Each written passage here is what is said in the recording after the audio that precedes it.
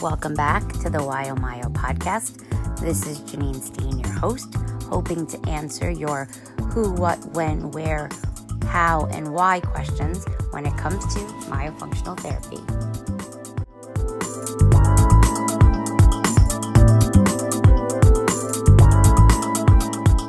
So, we are back. Um, today, I want to review um, some other identifying criteria or other ways um, that may suggest or may help you identify a tongue thrust or um, some things that you may see that could be the cause or um, perpetuating or exacerbating that tongue thrust. So, today specifically, I'm going to speak of um, a patient's medical history, especially when it has to do with their airway. So, um, the most impo- one of the most important things that are necessary um, in order to do or conduct or to be successful at um, myofunctional therapy or a myofunctional therapy program is you must have a clear airway. Um, and when I say airway, I mean both. Uh, I mean your nasal cavity, your both sides, your both your nares on both sides, uh, as well as your oral pharyngeal cavity and your oral cavity.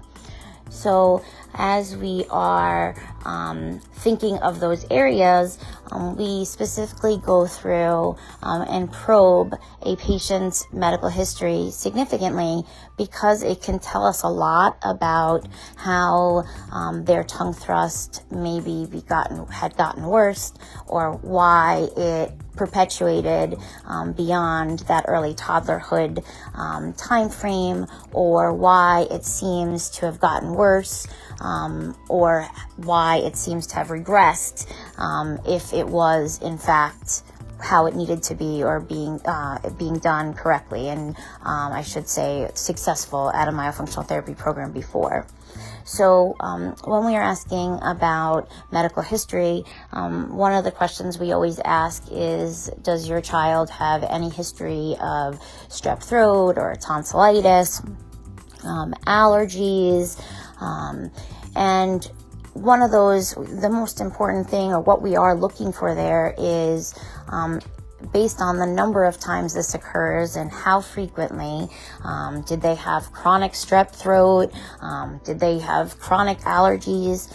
Um, it will tell us, even if we are not seeing it at, at the time of the eval, um, that this patient has had multiple episodes or multiple um, periods of time where her, his or her tonsils um, and or adenoids were enlarged, and typically um, when we see that we often will find that there's some sort of nasal congestion or fluid in the ears. Um, eh, there's a hay fever or um, some other type of allergy. Um, and if the patients when we look in that oral cavity if their patient's tonsils um, are enlarged and they have a pretty significant history of throat related infections, um, it's definitely, um, that would definitely be a case for us to refer to an ear, nose, and throat specialist um, and to make sure that um, that patient has enough.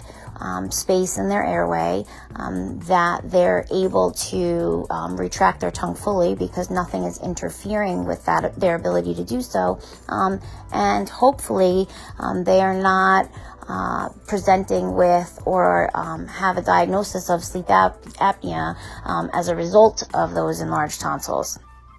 Um, the other thing, um, when we're asking about um, their history and we're talking about whether they have a, a history of ear infections or fluid um, allergies, if that's the case, and oftentimes we will look at our patients and see these really dark circles under their eyes. And um, those dark circles are often called allergic shiners, um, but oftentimes um, allergy shiners, but oftentimes too, we see those individuals that have those dark circles, but it also seems just like everything is, there's just overall low tone. It feels, sound, looks almost like the face is fag, um, sagging, um, the mouth is open, the lips look a little bit swollen or maybe retracted retracted, the upper lip is retracted, Um, and that's something um, when we see that type of patient or that type of presentation, um, it's called something called adenoid facies.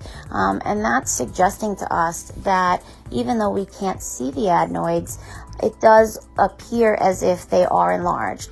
And if your adenoids are enlarged, um, we often find that um, our patients can have a history of sleep apnea. Um, we see that oftentimes with children that have chronic fluid and ear infections. Um, we also see it even with allergies. Um, and we at that point too it would be really important for us to again make that referral to the ear nose and throat specialist um, but also um, to request that they actually scope the patient.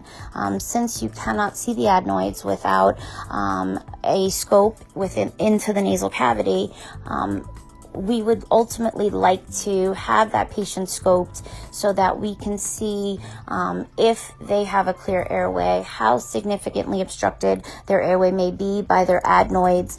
Um, is there any sign of a deviated septum or swelling within the nasal cavity or congestion um, that's ultimately limiting our patient from breathing through their nose with their mouth closed?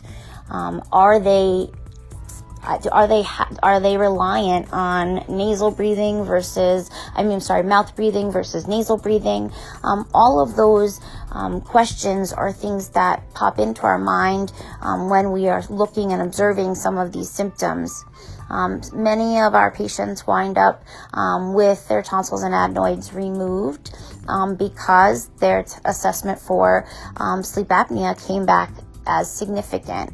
Um, I think many parents and many families think um, of sleep apnea as you know your dad way back in when um, and he just snored. He literally chopped wood while he was breathing with his snoring. Um, that's not the same for pediatrics. Um, pediatric sleep apnea can um, does not just have to be snoring. Actually, some of the symptoms associated with pediatric sleep apnea um, are hyperactivity and lethargic, a misdiagnosis of ADD, attention deficit disorder, or attention deficit hyperactivity disorder. Um, it often is associated with bedwetting in children. Um, it is often associated with restless sleeping.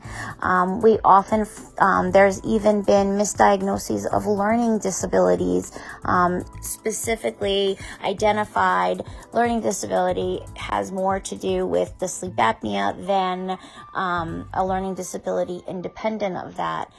so in pediatrics, we definitely look for a wide wide variety of symptoms. Um, does the child like to nap often? Um, and again, do they have those really dark circles under their eyes? Um, many parents will say, My child sleeps, you know, 10 hours a night. And that is wonderful. However, if your child is not getting into their REM sleep pattern, then they are not getting a good solid sleep where they are well rested and thus resulting in some, all, or many of these symptoms. Um, and again, they're so varied from they can be lethargic to hyperactive. It's just specific to that child. Um, I can't tell you how many parents um, come back after uh, their child has their tonsils and or adenoids removed and are shocked by the turnaround um, in their child, not just from an academic standpoint, um, but from an attentional standpoint. Um, it, the child's sleep pattern changes, their whole personality changes. So for today, I am going to leave it there and I will pick up more about what is, um, what part of the developmental or medical history um, could potentially perpetuate or exacerbate their tongue thrust or that could be a good indicator that we need to be looking or searching for one.